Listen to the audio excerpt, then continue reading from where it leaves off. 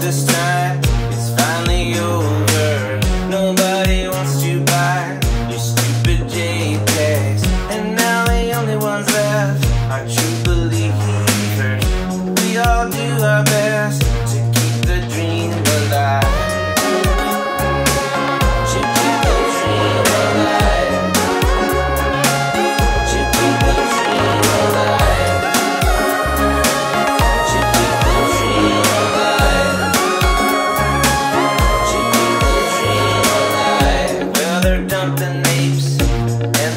cashing out. I hope they didn't take a mortgage on their